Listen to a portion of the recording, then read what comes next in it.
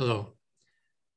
I'm Abraham Weizfeld, Dr. Abraham Weizfeld, actually, uh, with uh, my thesis having been done at the University of Quebec Montreal, here in Montreal, Montreal, Quebec, Canada.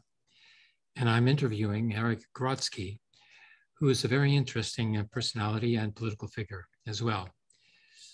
Now, we're just getting setting up, setting up here. That's pretty good.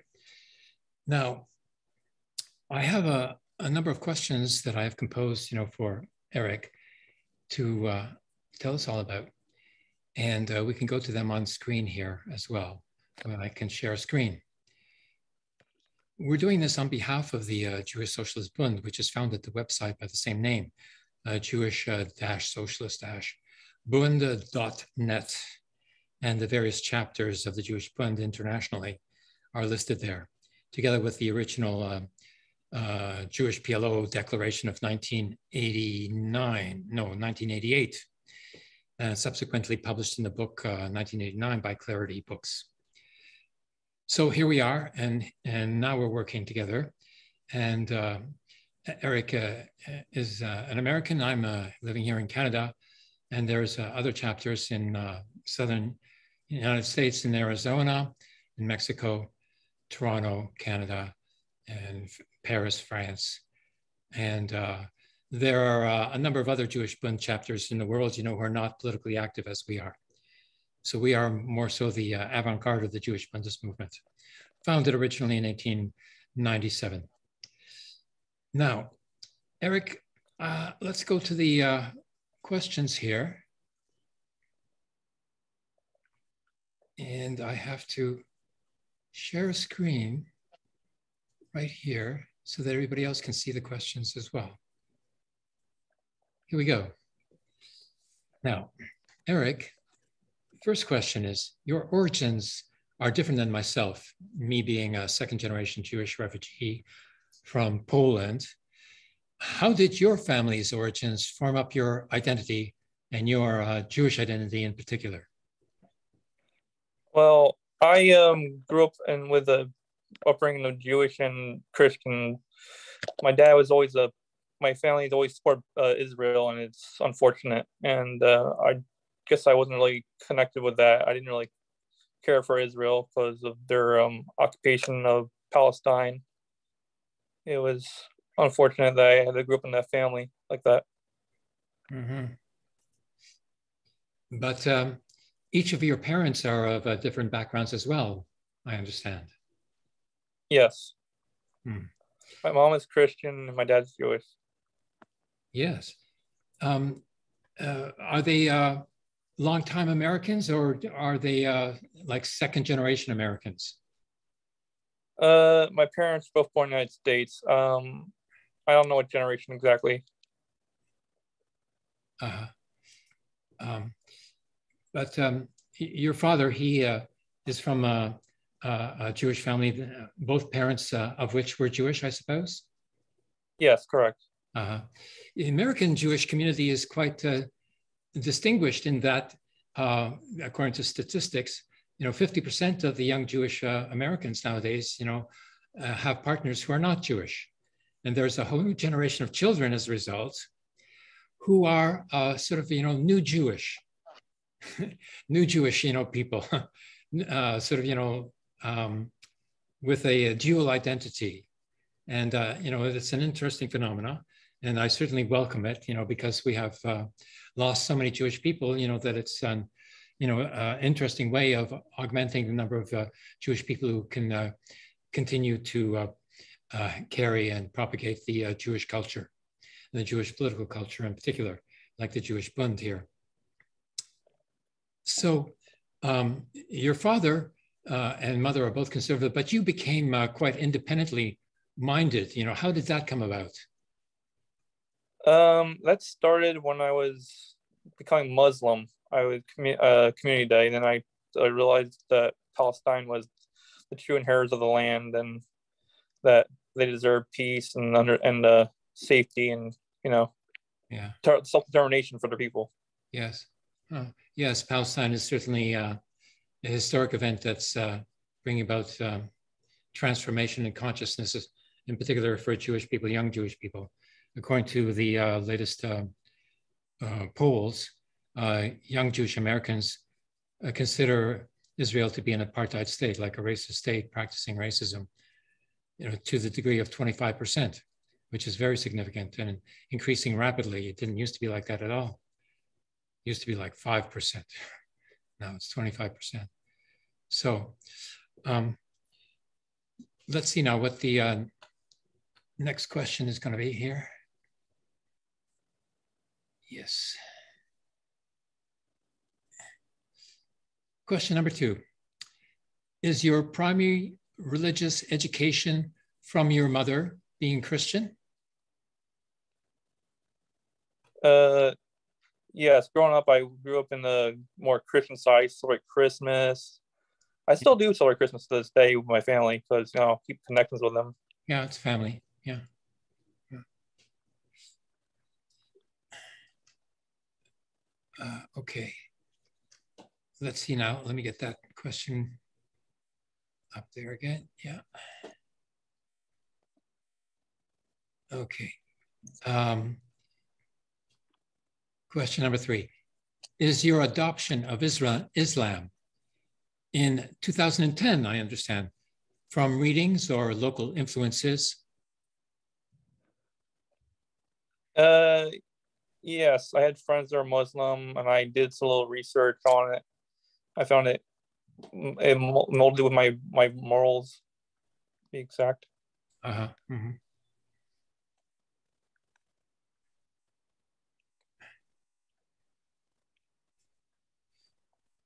Yes, there uh, there is a problem in Judaism, you know, because it has two tendencies, and uh, one tendency is, you know, setting up a, a nation like other nations, you know, as was uh, the, the populist demand, you know, in the ancient days. And the prophet Samuel, you know, came back and said, you know, like, what are you talking about? You know, you want to have a king to direct your life, you know, and, and turn you into soldiers and, and uh, steal your money with taxes and all this sort of thing, you know. And people said, yes, yes, yes. so he told me, oh, this is not what, you know, like your religion is prescribing. That's a very important uh, citation to refer to. It's in um, the first book of Samuel, uh, section eight, paragraphs uh, six to 20, as I remember it. Okay, so your uh, attraction to uh, Islam is certainly understandable. Question number four. Did you find Islam, do you find that Islam is compatible with Judaism? Yes, As a matter of fact, um, we fast on the day that the Jews fast, that one day, Yom Kippur, is it? Yes, that's right. We fast with the Prophet Muhammad taught us that we should be a we're a shared people, you know, in, in the sense that with solidarity. Oh, I didn't know that. I didn't know that. Yes. That's beautiful. The yeah, Jews and Jews in Arabia were um, very connected to the Prophet because they he called them and one he wanted to create a nation, and that nation was based on you know Islamic laws and stuff like that. But it included Jews and Christians as part of the as part of the system as the, the nation too. Yeah, uh-huh. yeah. In in foundation, yes. Uh-huh. Hmm. Um, yes, I, I understand that. You know, uh, because uh, you know I myself I fast Ramadan every year now since about five years. I've been fasting Ramadan, so it's uh, sort of a mutual affair. You know, especially when I was living amongst the Palestinians, and uh, I wanted to fast. You know, because you know, like how can I continue to eat, you know, when everybody else is fasting. Not everybody else actually, you know, like, but uh, nonetheless, I, I, did, you know, because it made me feel uh, connected. So uh, let's see what's the next question here. Um,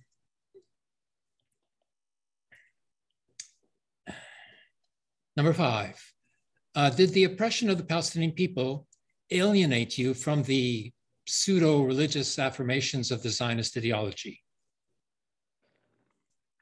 Yes, very much. I see the Jewish suffering as same with the Palestinians. Um, Israel is an apartheid state. They they they do what the Nazis have done. They're they're they're continuing what Nazis have done. And they don't care. They don't care, but uh, yeah, some of the some of what they've done is what the Nazis have done, you know, to the Jewish people as well. Yeah. But uh, I don't think that they can get away with becoming uh, like a Nazi state, you know, because the opposition, in particular the Jewish opposition, is too strong. Whereas in the German case, the uh, German opposition was rather weak and divided and uh, conflicted and everything like that. So I think we're in a much better position now. You know, both the, the Jewish opposition together with the Palestinian opposition will prevent any such uh, further degeneration.